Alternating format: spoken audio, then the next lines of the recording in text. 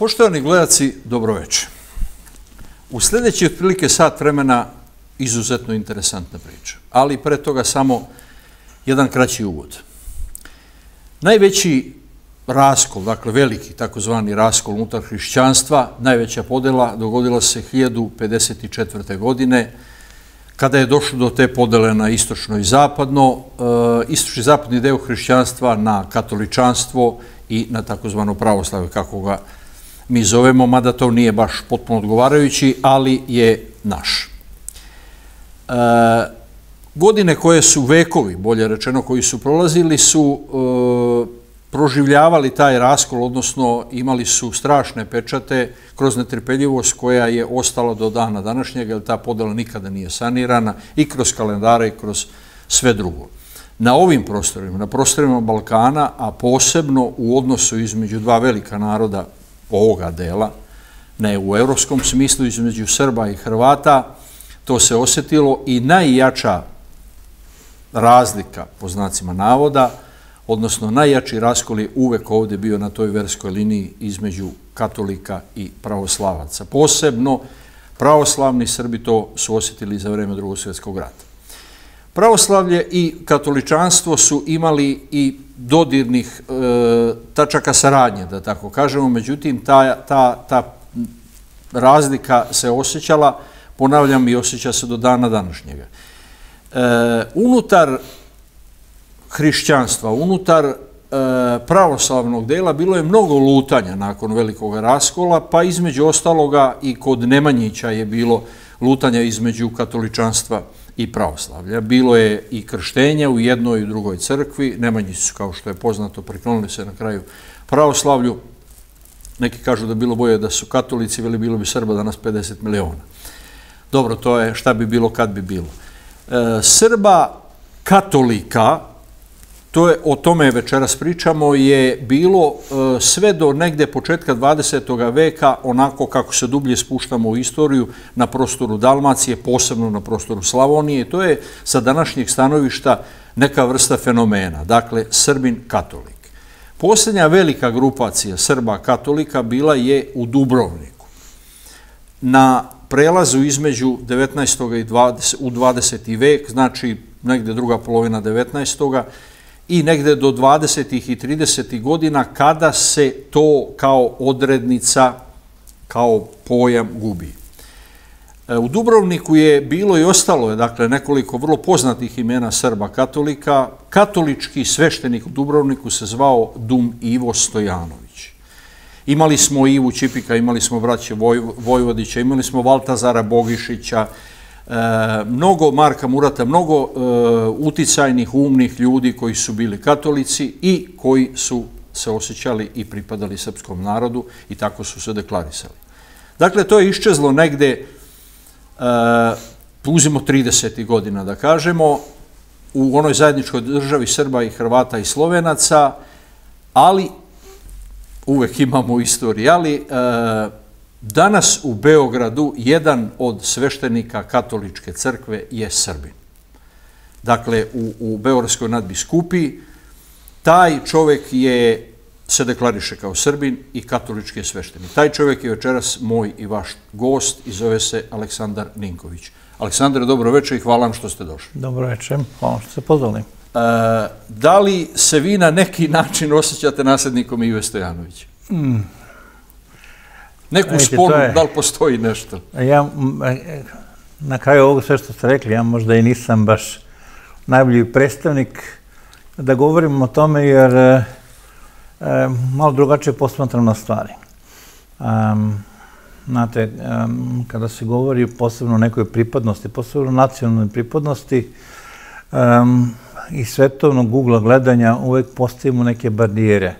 Znači, onaj ko ne pripada meni, on je odmah suprotno nešto što je drugčije od mene, nešto što je neprijateljsko pa, neprijatelj i nešto što, čega se plašimo, čega, um, što ne dopuštamo ka nama da priđe. Meni je uh, onog trenutka kada sam upoznao hrišćanstvo, kada sam prihvatio Hrista, uh, ta dimenzija nacionalna prešla nekako u drugi plan na prvom mjestu je Hrist, a u Hristu nema ni Grk, ni Jevrej, kao što kaže to pismo, tako.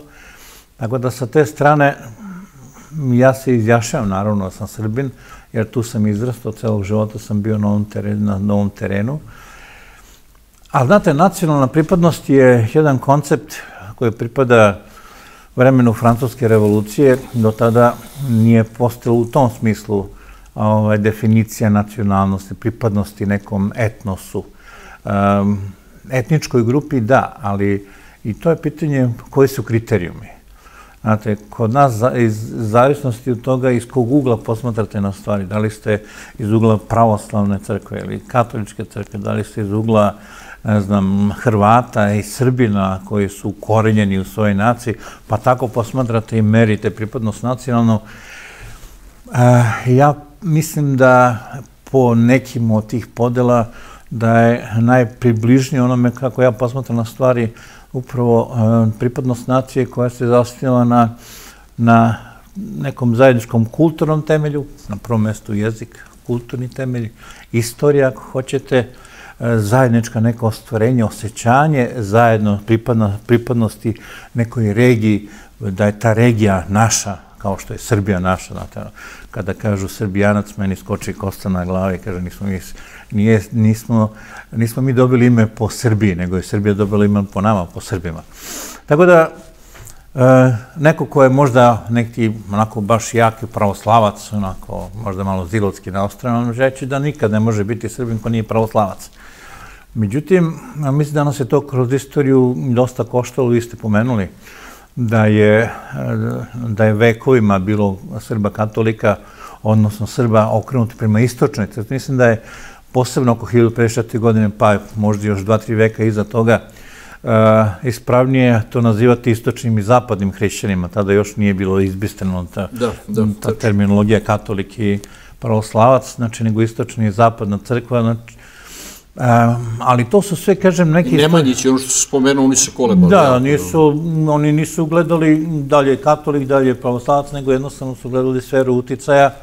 Naravno, tu nije bilo pitanje samo vera, nego znači jedan geopolitički, odnosno odnos geopolitičkih snaga, tako da su se neko vreme orijentisali prema, prema zapadu, ne bili dobili priznanje drugih e, starih da kažem, ka, tih istočno hrišćanskih država, odnosno zapadno hrišćanskih država koje su imali, koji su imali silu, koji su priznavanjem Srbije kao jedne imperije mogli dosta da doprinesu razvoju Srbije, čak i u onoj seriji koju smo gledali, koja nije baš nešto najbolje uređeno, tako Nemanjić Da li je, vi sigurno znate bolje od nas, da li je Vukan umro kao katolik, odnosno da li je prešao na katoličanstvo? To ko će to znati? Da, nepoznat. da, da. Pošto u seriji ima, ovaj, da, ne može se zaključiti, ali vidi se kontakt njegov sa Rimom. Da. da. Pa znate kako, u krajem slučaju to nije ni njima bilo važno, zato što e, do, skoro do 12. veka je na dvorovima srpskih kraljeva su bili prisutni zapadni hrišćani, da kažem, eto, katolici, koji su bili neko vreme čak i duhovnici, kraljicama posebno našim i tako dalje, tako dalje, bili su ktitori nekih samostana katolici. Katolici su gradili naše najstarije crkve e, po rasu i tako dalje, tako dalje. Tako da nije se tu tako toliko mnogo primećivalo, tako, vekovima je, vekovima je narastala ta, ta, ta, ta žalostna, žalostna podela a, iz raznih razloga. Kažem, u svom tom zamešateljstvu, nažalost, Srbi su bili prisiljeni da, da prođu istoriju onako kako im drugi uh, naređuju. Tako. Kao mali nismo, narod u sudaru sa, da, sa kako su, nas, kako su nas vetrovi nosili, tako da m, Srbi sad danas većinom jesu pravoslavci, naravno i zbog tog, da kažem, istočnog duha, zbog duha pravoslavlja, naravno, koje je nekako slovenskoj duši možda više odgovara, bolje odgovara, ali sa druge strane zato što je pravoslavna crkva u trenutku propasti države jednostavno bila prinuđena da preuzme ulogu spasitelja nacije. Uh, definicijom Srba kao pravoslavnih, koji su kroz to vreme, koje se kroz to vreme razvijela, jednostavno je crkva kao kočko kupljala svoje piliće, definišeću ih kao Srbe, koje Srbe pravoslavce i upravo to što su Srbi bili pravoslavci u to vreme je nekako i sačulo taj nacionalni korpus, da kažem, snažan i vidimo šta se dešavalo. Dan danas ogroman broj, recimo, Albanaca su Srbi koji su prešli... Primili islam. Da, primili islam. Premde danas eto imamo i islam na, na Preštovskoj viseravni, tako, um, koji govore za sebi da su Srbi, muslimani. Da, oni, oni su negdje da. sredina 19. veka ili početak, da, da imamo Gorance koji su no, najposljednji. O, sa katolicima je slučaj taj da malo je, po mom mišljenju i po mom saznanju, malo je tu bilo, da kažem, isključivosti. Naravno, ta isključivost nije bila, maj kažem, možda ću možda je to malo prejako, ali nije bila namerna isključivo sa strane pravoslavne crkve, nego jednostavno, kažem, taj mehanizam očuvanja nacije u životu u, u situaciji kada je potpuno ugrožena i od islama na mnogo nivoa. Znači, razumete taj stav u da, to da. vreme katoličke crkve, odnosno pravoslavne da. koja je rekla Srbi nije samo pravoslavne. Da, da, da. Mislim, to je jedan, to je jedan mehanizam odbrane. E sad, pitanje je e, koliko je bilo korisno obdržati taj mehanizam odbrane u vremena, kad, u vremena kada to više nije bilo potrebno, kada nije bilo oportuno. Ja mislim da je sa te strane, koliko je to pomoglo, toliko i odmoglo, da izgubimo dosta veliki deo uh, srpskog naroda koji jesu bili okrenuti ističnoj crkvi, pa su posle postali katolici, znamo, za Dubrovnik svi već pričamo, tako, Ivo Andrić, koji je katolik, tako, Srbin. Um, Josip Pančić. Naravno, mnogi oni, ali e, posebno oni u Hrvatskoj, Srbiji u Dubrovniku, jednostavno u onom trenutku kada a, nisu imali drugu opciju, jednostavno su postali Hrvati. A, Srbi ih nisu hteli, nisu imali da, da, da odu druge da. i posle došli Hrvati. Um, kažem, ja tu ne bi, ne, ne bi ništa, tu nema nikakve osude, tu nema nikakve, to je jednostavno istorija tako koja je nosila narod. Trebalo da zapamtimo jednu, jednu činjenicu, kažem, znači nacija ne postoji u ovom smislu do francuske revolucije, do stvaranja nacionalnih država.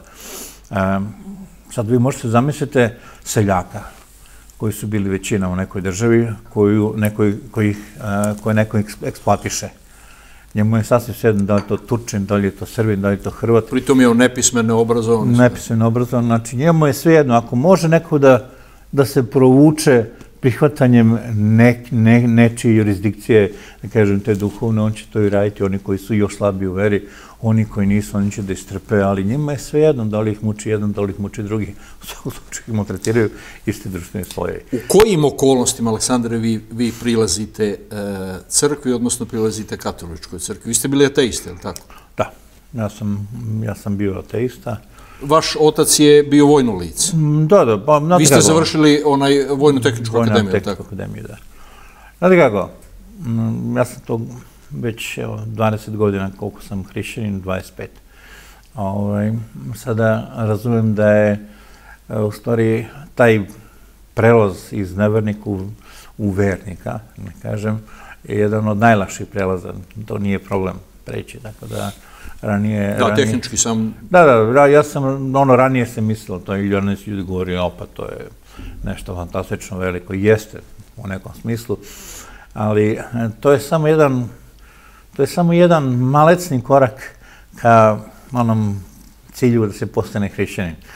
Nakon toga počinje borba. Evo, dan danas vidim da je daleko teže proći ove zamke koje nam život donosi, nego jednostavno samo promeniti, da kažem, uh, pogled na svet, biti ateista, biti, biti hrišćanin. Pre nego što to kažete, da li je tačno da ste vi uh, htjeli da upišete bogosloviju? Da, da, da. Htio sam da... Htio Ali niste imali novaca da se školujete? Ne, ne, ne. Znaš kako, nisu novci toliko problem. Problem je što, problem što je bilo previše nekih zapreka. Ali danas ja govorim to jednostavno Bogu smerao tamo gde hoćeš. Uh, ako smatra da treba budeš na nekom drugom mjestu, on će ti postaviti zapreke kako bi u slobodi izabrao nešto drugo. Kojim Tako putem da, je on vas poslao do, do katoličke crkve? Pa eto, ništa, ja sam konkurisao, ovaj, pitao sam Beogradskog biskupa, hteo bih da odim da studiram teologiju, on je on me teo da pošalju Rim, ja nisam bio siguran u svoje znanje italijanskog, iako sam ga znao. I na kraju je ispala varijanta da studiram u Mađarskoj i tako. Otišao A niste znali ni mađarski? Mađarski još manje, da. Ali eto, Bog što pozove, oni da instrumente za tako nešto. Koliko je, znam, čitajući ovaj da, e, rekli ste da da je i vaš brat pre toga pristupio katoličkoj crkvi. Koliko je to uticalo na vas? Mm, pa, ne previše. Ne. Ne previše. Ja sam već bio u nekim tokovima traženja Boga, tako da je to možda samo malo usmerilo. Nije to nešto esencijalno. Vi ste pre te odluke, pretpostavljam, Aleksandre, siguran sam da ste se dobro pripremili, čitali, koliko je ovaj, moglo e, u to vreme, to su negdje početak 90-ih, je li tako? Da, da. A, šta je presudilo da ne, ne insistirate, vi ćete reći naravno Bog je presudio, da ovaj slomite te prepreke i da ipak uđete u pravoslavlje, da u, u taj vid hrišćanstva, nego da, da li je to tih manje prepreka da, da postanete katolik? Bilo presudno? Pa znate kako, mm, je Ima nešto što je prijemčivije u katoličanstvu nego u, u Pa pravoslavlju? ne bih ja to tako nazvao, ja bih mm, eventualno, znate, postoji nešto što se zove duhovnost, mm, isto kao i duhovnost zapada. Meni se duhovnost iz e, zapada nekom mi više odgovarala u to vreme, ali kažem, nije to, nije to neki smišljeni cilj. Jednostavno, tako su putevi vodili i tako je, tako je na kraju bilo. E, kažem, ne bih hteo da povredim ove moje kolege pravoslavce, ali mm, u ono vreme posebno je nekako pravoslavna crkva bila inertnija. Ali to se svugde dešava da je većina. Znači, tamo da je crkva većinska, crkva ume da bude inertna, ume da bude nekako birokratska, da pušta stvari da se dešavaju već kako Da, se mi smo dešavaju. veliki, ne treba da budemo Da, budni, da, ne treba imamo... ne interesuje nas, ako Da. bude jedan više, jedan manje, sve, sve jedno ima nas dovoljno. Tako da ja sam nekako naišao na, na, taj, na taj odnos i mislim da je to samo možda malo pomoglo, ali nije to nešto što Nije je... Nije to nešto što je na kraju odlučilo. Kako vi, na kojim tačkama definišete svoje srpstvo?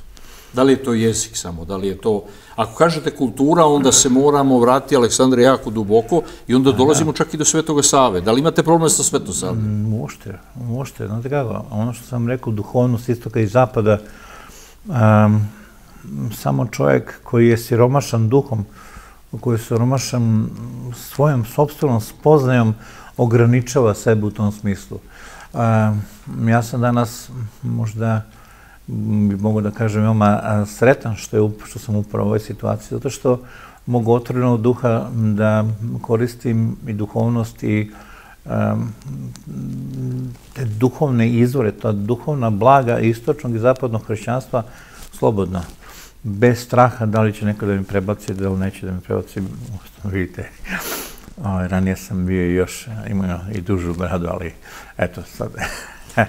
Neko će, da to neko nije bi vam- mimikrija, to nije mimikrija. E, to sam nije, teo da kažem, kaže da Nije je- mimikrija, nego jednostavno, um, to je jednako, jedno, je, jednostavno, što bi rekli, tako sveštenik treba da izgleda. Nije to naravno razlog, ali, mislim to generalni razlog, ali hoću, hoću da kažem da se, em, da lakše koristim oba, tva, oba ta dva izvora i sa radošću, znači, jer tu nema, znate kako, kad vi dođete do potpuno duhovnog čoveka, kao što su bili sveci, pravi sveci, um, kod njih nemate razlike, znači na prvom mestu je uh, hristoliki čovek. I oni o njemu govore, i na istoku i na zapadu. I onaj ko pije iz tih izvora, on razliku ne vidi. Znači, meni je, meni je, meni lično je granica nepostojeća. Znači, ne insistiram, e sad, mi smo katolici, vi ste pravoslavci. Tu podelu ljudi stvaraju.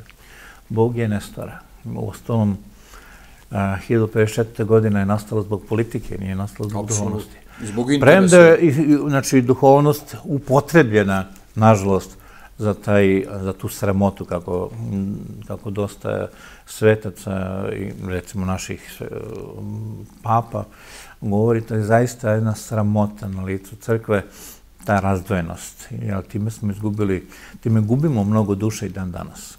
Tom, tom neprijat, tim neprijateljstvom koje nikako da prevazićemo. Taj rol da zatrpamo nikako. Nažalost, nažalost. Jer sve su stvari, vidite, ako je pogledate čak i taj sukup između Srbije i Hrvata, oni, on se ne, ne zasniva na veri. On se zasniva na tim imaginarnim definicijama nacionalnosti, a u korenu svega je politika, u korenu još dubljem svega je vlast. Ko će nad kim da vlada? E sad tu ne bi se baš složio, Aleksandre, pošto ti sukobi između Srba i Hrvata imaju izuzetno izraženu versku komponentu. Izuzetno. Imate, na primjer, izvinjam se, imate, na primjer, i u onome ratu, ajde prvo manje više, da se ne vraćamo, u drugom svetskom ratu i u ovome 90-ih, imate Milivoja Obradovića, Hrvata, Milivoja Obradovića, Srbina, jedina razlika između njih je katoličanstvo i pravoslavlje. I ubiše se radi toga. Naravno. Naravno, ali Jer versko je naravno starije od nacionalnog svega. To nije, ali vidite, ono što ljudi ne žele da primete i ne primećuju je to da, da kada krene politička tuča i neprijateljstvo, kad krene to osnovno želja za vlašću, ko će nad kim da vlada, kad krene novac, kad, kad, krene, kad krenu te stvari da se, da se uložu u sukob, oni koji sukob iniciraju, oni moraju da pređu jednog trenutka na motivaciju za sukob, a taj motiva, ta motivacija za sukob nije njihova želja za sticanjem novca, ko što jeste, nego to spuste na nivo e, nacionalnog, pa onak još dublje nivo na nivo duhovnog. I onak postoje zaista i sveštenici, duhovna lica koje učestvuju i ko, koje potpaljuju tu vatru, ali ta vatra nije izazvala sukoba. Ona je samo koristi da ga rasplamsa. E, to je, to je krupna razlika. Znači, to je osnovna razlika. Znači, koga, zato što, gledajte, ako vi pođete od, znači, zaista suštinskog učenja hrišćanstva, pa Hrist ne govori o vlasti. I onaj ko je zaista, ko je zaista duhovan, on se trudi da bude ponizan. Jer vidite u čemu se radi. Srž hrišćanstva, osnovna stvar hrišćanstva je upravo poniznost. Zbog čega? priča u rajskom vrtu, ono koje svi poznajemo na drvo, poznanja dobra i zla. Ona tu postavlja osnovne definicije ljudskog postojanja. Ne samo da se to desilo možda tako kako je opisano, ali je to iskustvo ljudskog roda i danas. Izbor između ploda drveta poznanja dobra i zla, na koje je Bog rekao nemojte uzeti, i moje volje i Božje volje to drvo predstavlja izbor koji je uslov slobode. Jer vi ne možete biti slobodni bez, bez mogućnosti izbora. To drvo nam je pružilo mogućnost da biramo šta? Da biramo hoću li ja da sledim svoju volju, ja što je lepo za pogled i dobro za jelo, i ću da sledim Božiju volju. Bog, zašto Božiju volju? Bog nije diktator, nego Bog je kreator, On te je stvorio. Vi kada kupite novi auto, pa ćete upustiti da ne biste rasturili auto. Tako, šta radite tog trenutka? pa poštujete volju tvorca. Zato što on najbolje zna kako će najbolje da funkcioniše. I vi ako sledite tu volju, imat ćete auto i koristit ga 50 godina. Nikakva razlika među čoveka. Ako čovjek poštuje Božju volju, to ne znači da se povinuje volji diktatora, nego jednostavno kreatora koji te stvorio tako da bi ti najbolje funkcionisao. Mi smo izabrali nešto drugo. Mi smo izabrali svoju volju. Mi smo izabrali da sebe kljukamo, da, sebe, da sebi grabimo, I to, je, to se prenosi na sve oblasti ljudskog delovanja. Prenosi se i na politiku, prenosi se na ekonomiju, na te dve, na prvo mesto, ali se prenosi na međusobne odnose, na ljudske odnose. Ja sam u pravu, nisi ti. Moja je vera bolja, nije tvoja. Znate, uh, vi umesto da upoznemo sebe, mi stavljamo granice preslikavajući sebe u druge što treba da radimo. Mi sebe treba da prepoznamo u drugome, kao na, da prepoznamo drugog kao našeg brata, sestru, kao našeg oca, majku. Mi šta radimo? Mi gledamo drugoga, ali s moje pozicije kažem, pa taj drugi ne liči na mene. Taj drugi je stranac, ono što sam rekao malo pre na početku. Taj drugi je neko protiv koga treba da se borim. Hrišćanstvo nas dakle uči da je poniznost, da odustajanje od sebe upravo put da se vratiš izvornom stanju da se vratiš onom stanju koje kada te Bog stvorio da bi delio sa drugima, da bi sa drugima bio i jedno. Jer kad je Bog stvorio čovjeka, rekao je, o, znači muško i žensko stvorio sam ga. Muško i žensko ga. Na taj način pokazujući da je čovjek jedino biće koje zaista može da funkcioniše samo u zajednici. a ne da, se, da, da ti trpaš samom sebi. Zato smo izbačeni iz Zajskog vrta, vidite kako taj mit se objašnjava. Izbačeni smo iz Zajskog vrta da ne bismo večno, ima tamo ono drvo, uh, večnog života, da ne bismo večno bili robovi svoje samoživosti. Živeći u ovom telu, imamo mogućnost da se predomišljamo, da se darujemo drugima. Zato Isus došao i kaže, vidite šta sam ja uradio za vas. Niste ničim zaslužili, ali umro sam za vas i uskrsno sam za vas. Time se u, u literarnom svetu bavio veliki broj i velikih pisaca i oni manje talentovanih. Jedan od njih za koga ja smatram da je veliki pisac je Simo Matavulju, ima onu pripovetku da. Pilipenda. Da. Gde upravo onaj koji nagovara ovaj, e, junaka te priče Srbina iz, iz Severne Dalmacije da pređe na takozvanu česarsku vjeru i on kaže to je prava vjera, to je ono što ti treba da uzmeš, a ovaj kaže ne, veli ja vjerujem u moga Rista, odnosno Hrista. Ne. Dakle, jedan ima upravo taj stav, ovo je moje bolje. E, vi ne pripadate, Aleksandre, nečemu što ovde se kvalifikuje kao konvertit. Vi niste konvertit ni nacionalni, niste ni verski, ili niste bili, ovaj, vaš prvi kontakt sa hrišćanstvom je katoličanstvo. U kojoj meri, siguran sam da ste se bavili tim, u kojoj meri je taj sraz, odnosno taj veliki jaz između Srba i Hrvata odredilo konvertitstvo? Tu pre svega mislim, znate sigurno na što mislim, na zapadnu Hercegovinu, gdje je to bilo najizraženije. Dakle, i gdje, gdje upravo da, taj fenomen malih razlika, o čemu se radi, dakle, gdje mržnja niče na konvertistvu, bar što se tiče ovdje. Čak i u odnosu hrišćanstva i islama. Da. Pa, znate kako, mislim, uvijek je pitanje tog konvertitstva, osim ako se ne, ne radi o prelasku, tako, iz ateizma u hrišćanstvo, nego međusobni prelaze su uvek su, uvek su, uvek su problematični. Mi danas um, izbegamo u širokom luku, tako da, znači ako neko žele da postane katolik u Srbiji, mi to, kažem, izbegamo u širokom luku, sa savjetujemo da se ide u pravoslavnu crkvu, da se ide na veru, nauku pravoslavnu, da se zvano živi taj, taj život pravoslavne crkve. Dakle, to je stav katoličke crkve. Da, da eventualno ako baš neko želi, jer kažem, postoji ta dimenzija tipa duhovnosti, nekome, nekome, se više, nekome više odgovara duhovno i, da kažem, liturgija zapadne crkve, možda i molitve zapadne crkve, ta struktura, ne znam već šta. E, tek onak u tom slučaju, ako nikako ne možemo da neko da pomognemo toj osobi da se integriše u pravoslavnu crkvu, onda prihvatamo to zajedništvo. Ali mm, to je, evo, ja kažem, ja se u zadnjih pet godina ne sjećam da je jedan, da je iko prešao u katoličku crkvu kod nas, možda jedno ili dvoje za deset godina.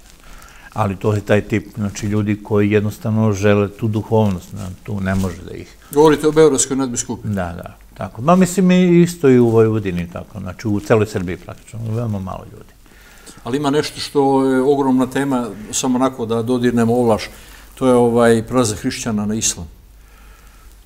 Pa, znate kako? U zapadnoj Evropi je to prilično izraženo. Znate zbog čega? Ja, moj, moje mišljenje zbog čega? Ovo, zbog čega se to dešava. Um, sa jedne strane, pogledate i pravoslavce u Srbiji, pa Bog me i katolike, vlada jedno, na prvom mjestu jedno veliko neznanje ljudi ne poznaju svoju veru. Ne znaju šta je Hrist. Znate, ja dođem u crkvu i kažem, pa eto i vaši gledalci, ako slušaju, ovako su hrišćani, pa ih pitam, ovaj, od čega vas to Isus spašava? Teško da ću da objasnim. Ljudi, onak, na kraju se sete da su nešto čuli na veronovcu, pa kaže od greha. Kažem, da, ali još uvijek grešiš, kako te spasi od greha? I to još uživaš kad grešiš. Od čega mi Isus spašava?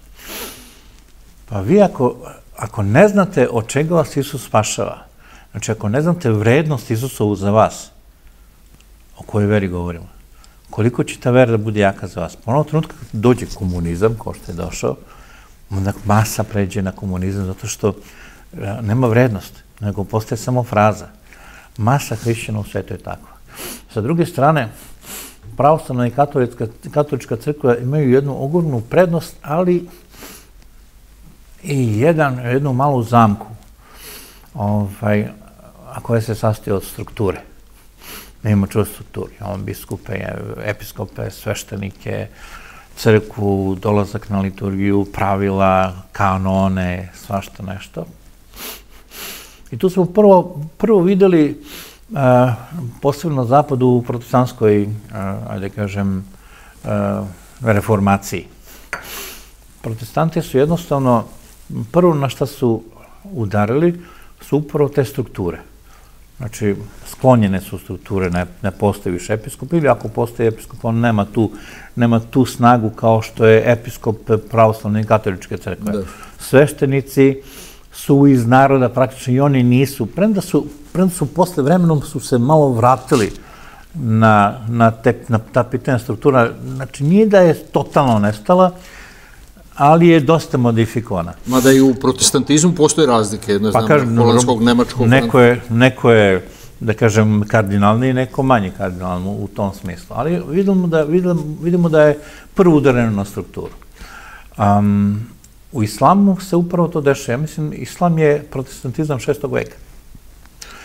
Islam nema sveštenike, znači ona je potpuno, potpuno slobodna religija. Islam nema uh, ono što mi zovemo učiteljstvo crkve. Znači da crkva, znači, uh, crkva promoviše i uči određene, određenu nauku, određene stvari. Uh, to Islam nema. Svakom je dopušteno praktično da sam gleda na islam kako hoće. Oda, odatle imamo i islamski terorizam i razne stvari što danas dešavaju u svetu, upravo zato što svako može da uzme stvar u svoje ruke da kaže, e, ovo je islam. E sad, znači, ubi nevernika, to je islam. Moje tumačenje je islam. Nije, ubije, ali to su dva, praktično bi mogli da kažemo, legitimna ovaj, izraza koje jednostavno, upravo zato što ne postoji neko telo koje će da um, bude između da sudi šta je zaista vera, šta nije, ovaj, zato što, znači, taj haos se tako nastavlja. E sad, Zašto u Zapadnoj Evropi? Zapadna Evropa takođe malo zna o hrišćanstvu. Malo zna, još manje živi. U takvoj jednoj situaciji, kad je potrebna neka duhovnost, a islam ima duhovnost, naravno, onda se ljudi, vidiš i da nema nekih obaveza, da svako može da radi kako mu se hoće, jednostavno se učini kao kad je došao protestantizam u Nemačkoj, da, da dosta ljudi prelaze na islam. Međutim, mislim da je to jedan tok koji će vremenom takođe opet da prestane, zato što je hrišćanstvo pokazalo svoju snagu upravo time da ljudi kada se prepuste mnogo samima sebi, na kraju vide da je da problem nije u nekim drugima, zbog čega su oni prešli na određenu veru, nego upravo da se, da se da je problem unutra, da je to u stvari moj problem, od koga ja ne mogu da pobegnem time što ću da pređem iz katoličanstva u pravoslavlje, iz pravoslavlja u, u, islam. islam, iz islamu u judeizam, da gde god krenem, tu, znači ja moram da rešim svoje lične probleme da bi se spasio od toga. A, kažem, na to će ljude da dođe polako. Koja je krsna slava porodice Ninković? Uh, Sveti Đorđe. Da li ste vi tim činom o kome govorimo, ličnim, imali problema, imali naravno iznenađenja u samoj porodici i kakav odnos imate prema tradiciji, porodičnoj, ovo je konkretno. Vi to naravno ne obeležavate, ali... Da, da. Pa, znate ga ja kažem, ja sam možda malo nestandardan ovaj tip vernika, zato što... Pokušavate kada, da pomirite neke stvari? Ne, ne, ne, ne pokušavam ništa da pomerim, nego znate kada u 37. godini nađete Boga, od, e, kad vidite iz ateizma u hrišćanstvo, onak vidite da su zaista prave vrednosti, znate. Crkva je tokom vekova razvila dosta i obreda i stvari koje pomažu duhovni razvoj, ali koje u isto vreme nisu suštinske. Vidite, mi u Srbiji imamo slavu, tako? Ali Rusi nemaju. I savršeno lepo živi bez slave. Znači, praktično niko drugi ih nema. Znači, ali, znači, slava je jedan mehanizam, jedan obred, jedna tradicija koja je upravo pomogla Srbima da se više vežu za crkvu, da priđu Hristu. Znate, to bi je most, element prelaska sa paganstva na, na ovaj... Pa imate mnogih, mnogih elemenata u hrišćanstvu koji su upravo tome služili zbog čega. Pa Bog je stvorio ceo svet, je tako? Bog je stvorio svet. Pa znači te stvari koje su u, u, u samom svetu su Božije na neki način, samo ih treba pravilno pogledati. A, evo, pogledajte Božić. Božić je praznik sunca nepobedivog u Rimu. I to je bio veliki praznik sunca nepobedivog, paganski, paganski praznik. Ali hrišćani, hrišćani su rekli, pa da, u pravu ste. Ali ti to nemoj posmatraš kao da je sunce Bog, nego da je Isus ono sunce koje se zaista daje život. A ovo je samo simbol, simbol. njega. Znači, zadržan je praznik, ali mu je promenjena sadržina. Možda su, kao što neki etnolozi kažu, premda da se dosta pravoslavnih teologa ne slaže, da je, da je slava, slava e, kućnih bogova. Može biti, ne mora da znači. Kućnih svetaca. To, mislim, nema, nema veze. Ali, kažem, sama činjenica da je taj neki praznik, da je ta neka svečanost postala, da je, da je dobila hrišćanske korene, čak toliko duboke korene sada, da se ni etnolozi ne mogu da slože, ili tako, da li je to bio uzok ili, znači, izbrisani su koreni, zato što je hrišćanska, sušt, hrišćanska suština ovaj, slave zaista pobedila, zaista očustnula u narodu i narod sada slavi svece, ali ne slavi svece kao bogove, nego slavi svece kao primere hrišćanskog života. I zaista svaki hrišćanin koji slavi slavu, on na prvom mestu pre onog e, površinskog e, elementa slave, znači pozvati prijatelji i dobro se najesti, tako, zaista treba da, da razmišlja o životu tog sveca koga slavi i da traži njegovu podršku u, u životu i sledeći njegov primer da se radi ono što je osnovna stvar u životu svakog hrišćana, trebalo bi svakog čoveka, da sledi Božju volju, ne bi li se vratio tamo odakle je došao. Jer, znači kako, što kažu, ja sad ću malo se nasvanje, tako da, život je smrtonosna bolest, tako? Evo, svako dođe do onog trenutka kada mora se pojaviti pred Bogom i, i pazite, Bog ne sudi nikog. U Svetom Jovana, u Jovanu, znači u Anđeju po Svetom Jovanu stoji da Bog Otac kaže, ja nisam, ja neću da sudim svet. Moj, sud će da sin, moj sin će da sudi svet. A sin kaže, nisam ja došao da sudim svet, ja sam došao da ga spasim. Moja reč će da ga sudi. Što znači to? To znači savest koja nam je, koja nam je unutra, u duši. Sami sam svoj sudi. Sam sam svoj sudi. E tako, kad stanemo pred Boga, Bog neće ništa na sve će kaže, gde ćeš? I ti sad kažeš, hoću s tobom ili neću s tobom. Ako sam celog života bio samoživ, on će pred Bogom reći, neću s tobom jedina druga opcija je samoća. Samoća i mrak i večno dosada. E, to je slika pakla. Jeste. A svaka druga opcija je hoće s tobom ulazak u život. To su dve varijante koje nas celo hrišćanstvo uči tokom celog života. Nisu važna ni nacija, nije važna ni, ni čuje slava, ni znanje, ni ništa živo. Važno je samo da, da, kada, da se tako spremiš u životu, da kada staneš pred Bogom, da, da možeš da kažeš hoću s tobom. Sa svim svojim manama i greškama koje si pokupio tokom života, ali ono osnovno, ta želja da budeš sa Bogom, to mora da naučimo da bude, da bude prvo u našem životu. Tako da sve to instrumena. Nadam se da, nije, da neće biti uvredljivo ni, ni ovaj, lično jeste, ali uvredljivo mislim da nije. Da li vas vaši Ninkovići zovu na krsnu slavu kad imate? Pa, mi nemamo da vam kažem, mnogo Ninkovića u, Pošto su umrli otac i majka, tako? Kako? Jesu vam umrli otac? Ne, ne, Bogu, mi se živu si. E, pa kakav tu imate odnos? Pa Oni su isto bili ateisti, je tako? Mm, ja, pa mislim ateisti. Znate šta? Otac čim je vojno lice, Ateista je veoma teško, veoma težak termin, zato što ateista znači svesno biti protiv Boga. E, niko od nas nije svesno, to su sve, svi smo mi bili agnostici, nismo znali. Ja kad sam bio komunista, ja, ja se sjećam kad sam bio komunista, a, meni nije pala na pamet ideja da kad umreš nestaneš, nego nastavi se neka vrsta postojanja, ne znam. A, nije bila ideja da Bog ne postoji u tom smislu. Bog ne postoji u... Onda vi niste bili pravni komunist. Def, def, ne, a, pa, Bog ne postoji u smislu Boga hrišćanskog, tako to. To je bilo, tako je bilo za, za nas komuniste. A, ali ono što je, što je bilo je neka sila koja postoji u univerzumu. Ja vidite, samo blesav čovjek i glup čovjek može da kaže da neka takva sila ne postoji. Ne postoji, naravno. Zato što naravno. poznavajući zakone u svetu, ti ne možeš da kažeš, jer šta znači zakon? Ako postoji zakon u svetu koji se stalno ponavlja, onda to znači da iza tog zakona stoji neki razum. A iza razum ne postoji bez osobe. I tako, veliki broj naučnika je tako došao do Boga. Jednostavno, prateći, prateći zakone u svetu, dolaze do razuma, iza razuma stoji osoba, iza osobe stoje, god koristio termin, ali to je Bog. Nešto slično je, slično objašnjenje nije identično jerotićima o, o, o Bogu. Ne može, kažem, ne može drugčije da se, pa u principu ja sam isto kao, da kažem, tehnički obrazovno lice, e, na neki način jedno, jednom rukom i, i, i došao do Boga upravo tom logikom.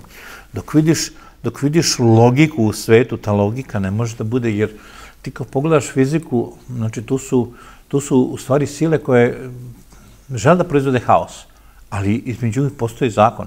Pogledajte naše telo. Mi dok smo u životu, ili tako, hemija koja se nalazi u nama savršeno funkcioniše. Čim umremo, to sve raspadne. Zbog čega? Pa zato što ta hemija, bez tog Boga, ne može da funkcioniše. Ona je suprotstavljena jednom drugom. Ne funkcioniše. Pogledajte atom. Znači, sile koje atom drži u jedno, one ga drže u jedno, da nema te sile, raspali bi se. Atomi, znači, raspali bi se ceo kosmos, da nije te sile koji ih drži zajedno.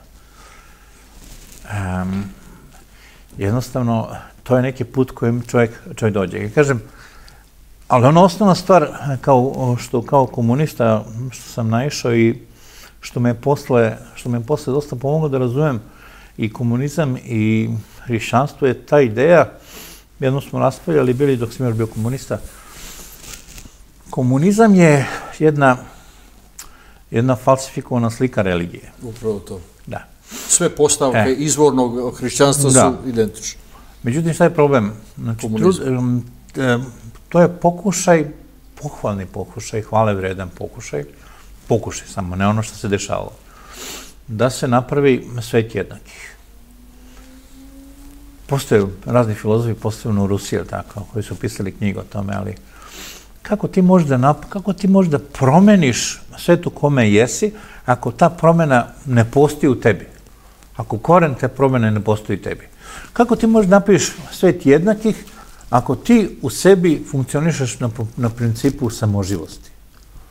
To na, na raznim nivoima.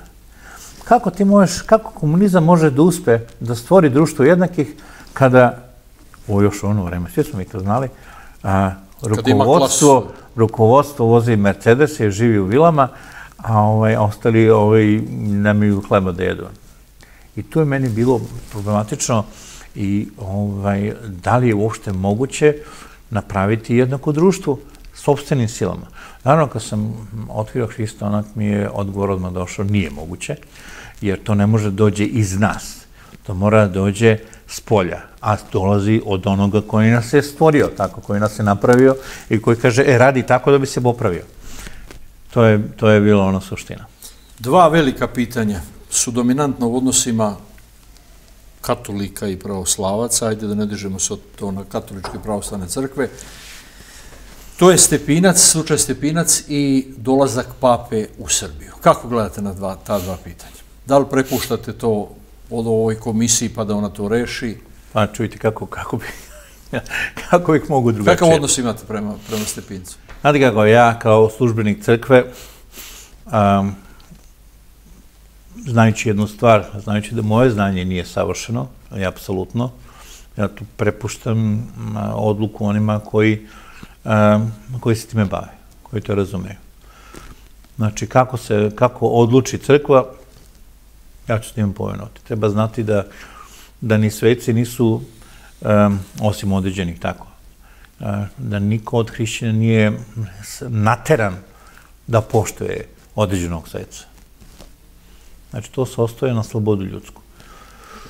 Kako crkva odluči, tako će biti. Što se tiče dolaska pape, to je isto, ne kažem, pitanje Vidite, to je pitanje odnosa između, između crkva, naravno. E, mi hrišćani i sa tom podelom 56. godine imamo ogroman problem i posle razvijam teologije ne samo od 54. nego i ranije. Mi imamo ogroman problem što smo često definisali dogme, a nismo baš previše radili na apliciranju osnovnih hrišćanskih elemenata u narod. Znate, vi, da biste nekom oprostili, nije potrebno uh, pokajanje onom kome opraštate. To je osnovna hrišćanska stvar. Pitanje na kom smo nivou mi hrišćani. Da ja kažem, aha, dok se, ne znam, papa, crkva, ovaj i one, ne znam već ko pokaje, nećemo ga prihvatiti.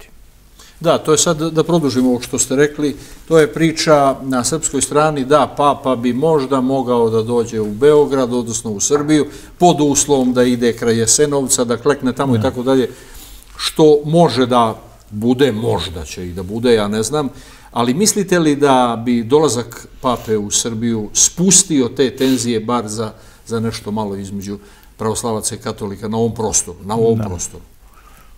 Pa, znate kako, doprinulo bi svakom slučaju. Evo, vidite ovaj događaj u Bugarskoj. Da, sad Papa je došao, Papa je došao, on je bio, znači ta posta je bila odobrena od Bugarskog sinoda. Um, čak su bugarski episkopi zajedno sa patrijarkom primili papu, mislim su i ručali zajedno. Nisu bili na liturgiji zajedno.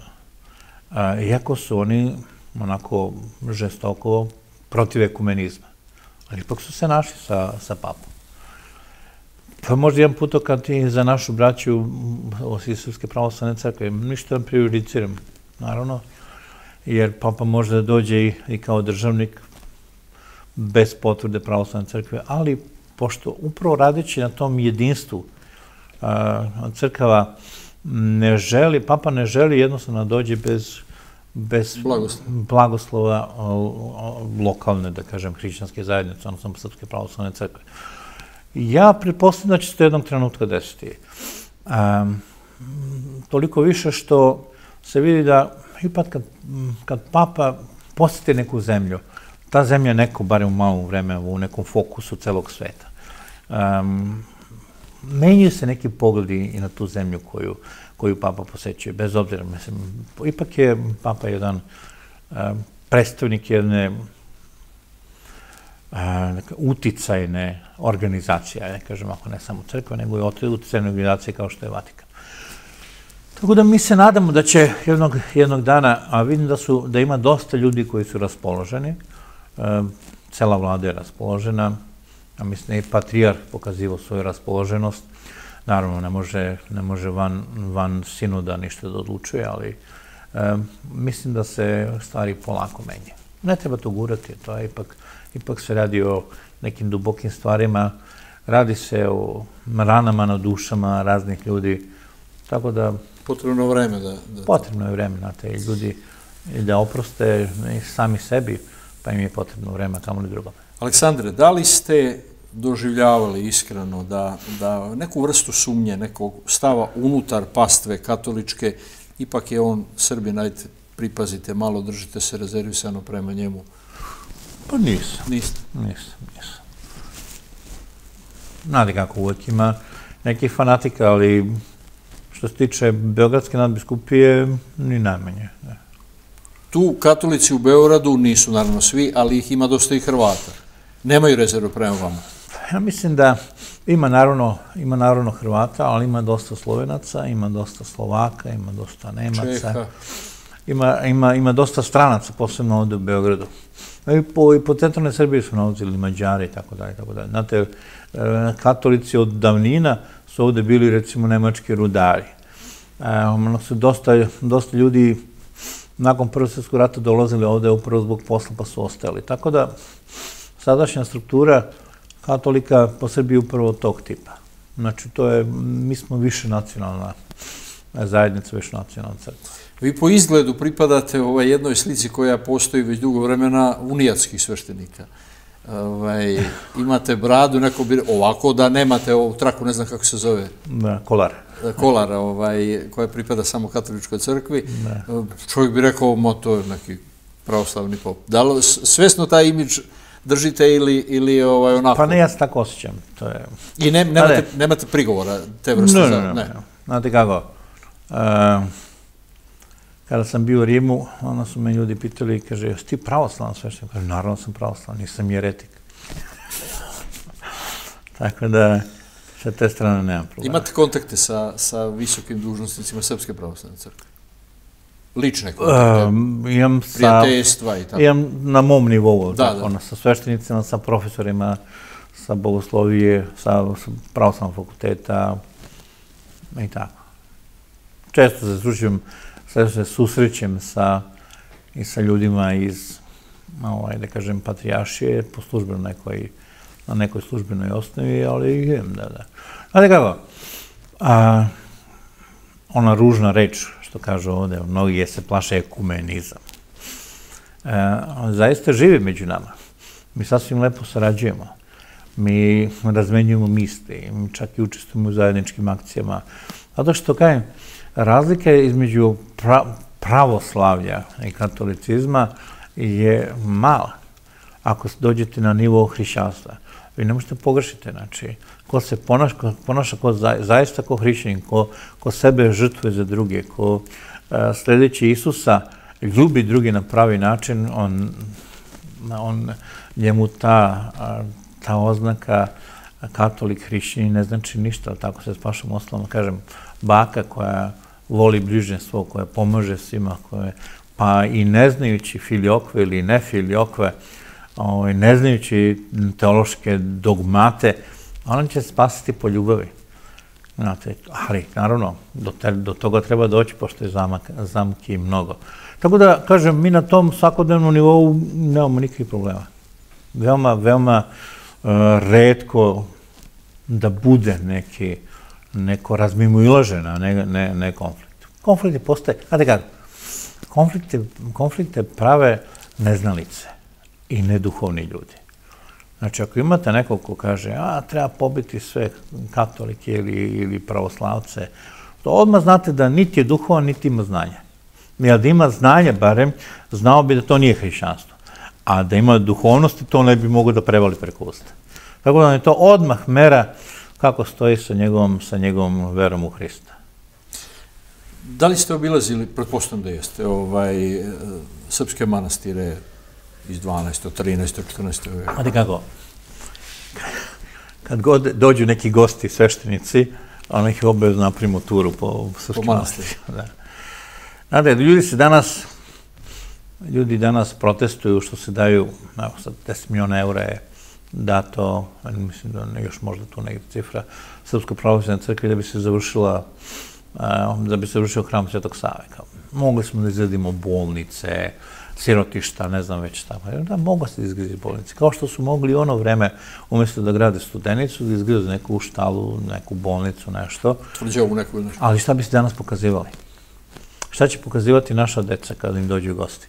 Ako ne napravimo hram Svetog Save. Ako se ne napravi nešto. Znate, Srpska pravoslavna crkva u sebi zaista, to naravno nije fraza, to me svako jasno, ima ogromnu odgovornost prema svom narodu. A, ali ta odgovornost se a, ne zasniva samo na podizanju hramova, nego na podizanju hrama Boga u našem telu.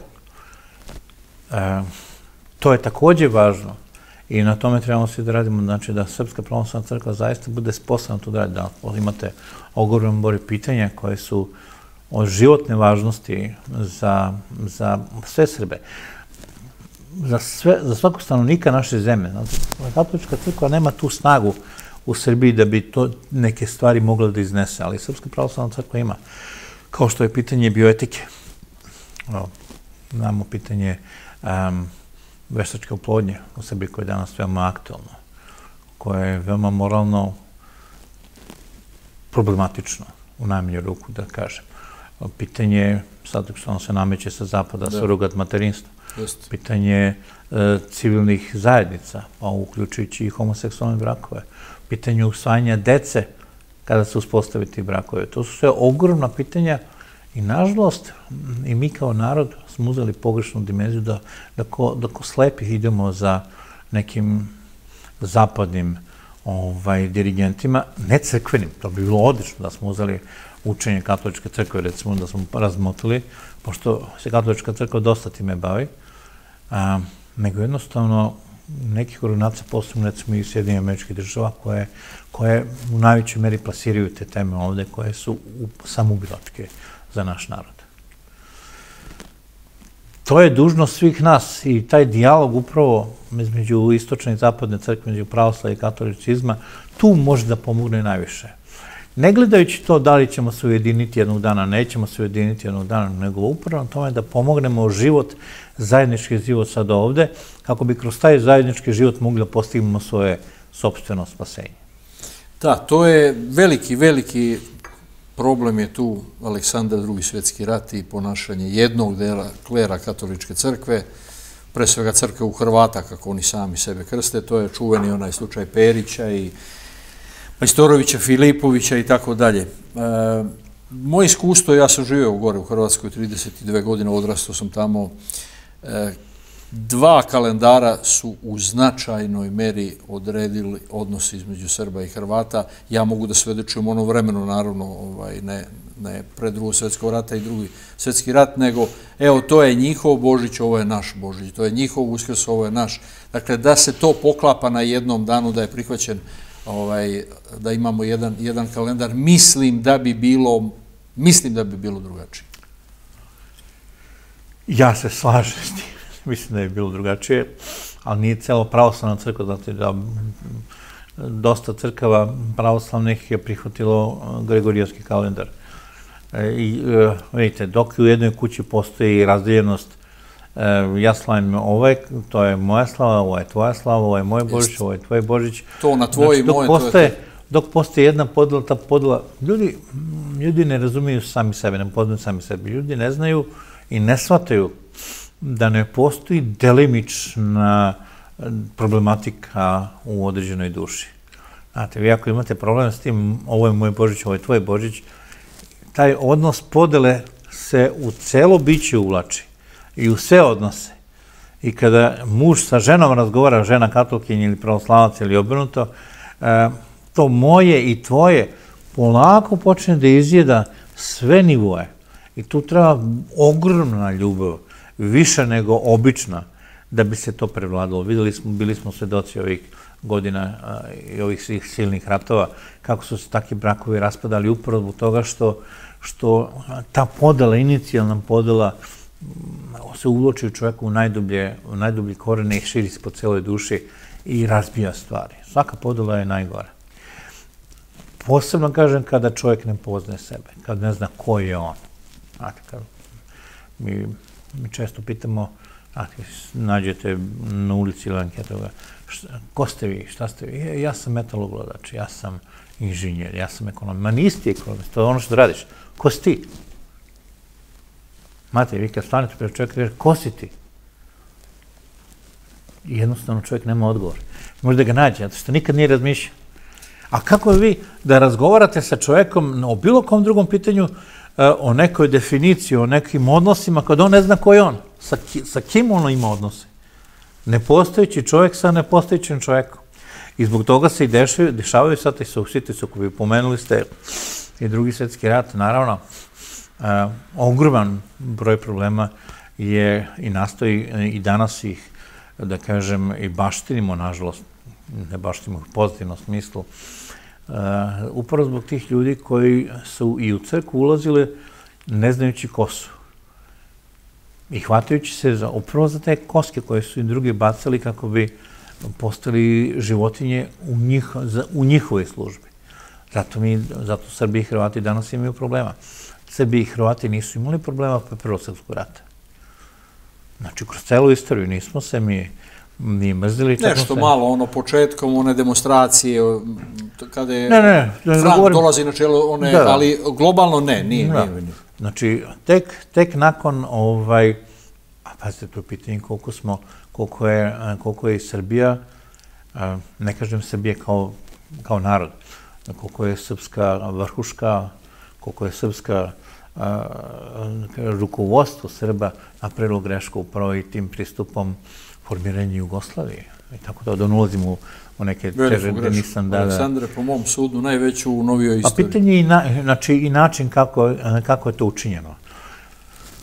Vidite, sve, kad to se stavite na sto, znate, a, morate da budete toliko hladne glave da, bi, da biste realno procenili sve te uslove, jer na kraju čovjek mora da kaže, dobro, okej, okay, ali ne postoji jedan krivac. U ljudskim sukubima nikad nema jednog krivca. Znači, ono što kažu, bit će možda malo grubi, tako da tuče se potrebno dve budale. I to je uvijek tako bilo. Ona kaže, oni su nas napali. A zašto se napali? A nisi mogu da smiri situaciju.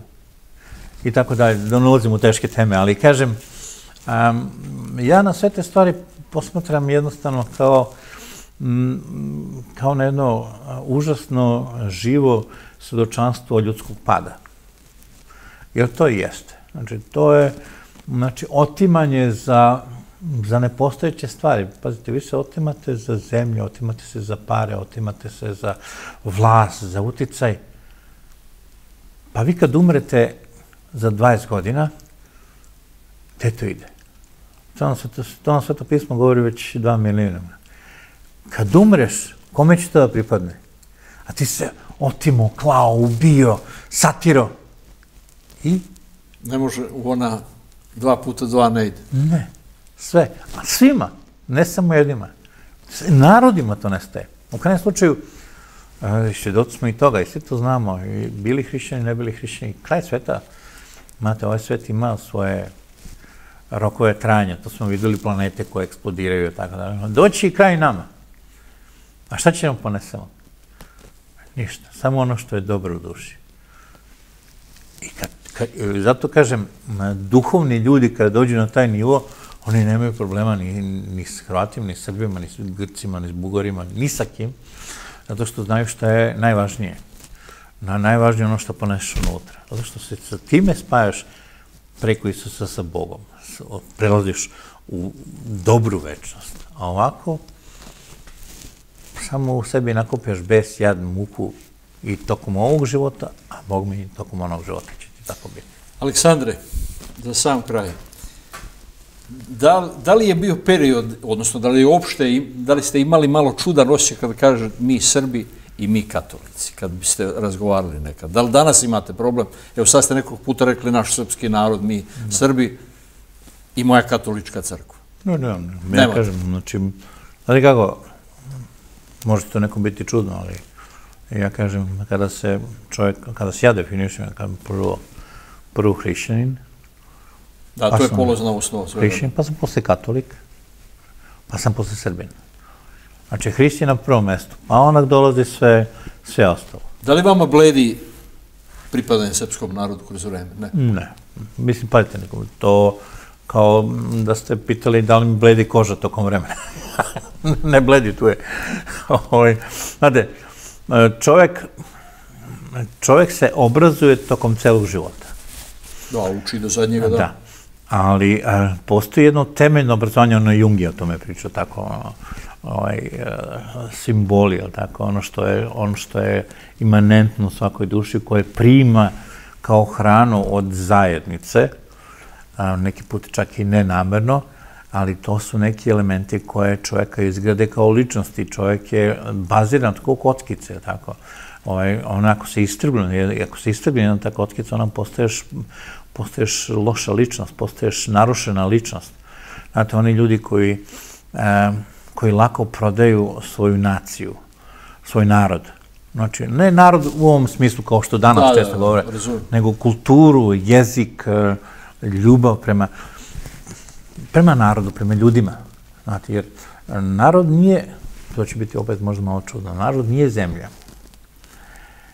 Jer evo, pogledajte sebe, recimo, zamislite situaciju da se preselite iz Beograda, ne znam, već ste imali priliku da menjate tako, lokacije, ali odete iz Beograda ili u, odete u Afriku, u Afriku negde i povedite sve prijatelje sa sobom. Ali sve, sve, sve, rođake, prijatelje, sve one koji su vam dragi. Da li biste se setili Beograda ili, ne znam, ovo beše iz okoline Jasenovac, tako? Da, da, govorim. Da li biste se, da li biste se setili tih krajeva? Ne bi. Možda malo onako osjećanje, ali svi su tu sa tobom. Da, mi, mi, za, mi zaboravljamo da mi nismo vezani za zemlju, nego smo vezani za ljude. I to još jednom pokazuje da smo mi ta Božja bića koja zavise od zajednice. Mi volimo svoje, a gradove, zemlje i sve ostalo volimo zbog toga što se tu nešto dešavalo sa ljudima koje volimo. Ali mi to pogrešno porazumemo, kaže, ja, ja sećam se Beograd kad sam bio mlad. Ma ne sećaš ti Beograd kad si bio mlad. mladosti. Ti se sećaš ljudi sa kojima si se lepo osjećao kad si bio mlad. E, ako se ne varam, nedavno ste doktorirali, ili tako, u Rimu.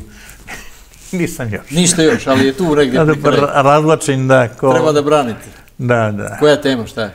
A, pa malo je teže, da. To je prvi i poslednji u Kraljevstvu nebeskom. Nadam se da ću... Mislim, sve je gotovo samo pitanje. Tehnikalije su pitanje. To je. Aleksandre, mnogo vam hvala na odvojenom vremenu i na ovom razgovoru. Meni je bilo prijatno. Hvala vam takođe. E, poštovani gledalci, nadam se da je vama bilo interesantno. Mi se sa novim gostom vidimo ponovo na istom mestu na Rast televiziji za 7 dana.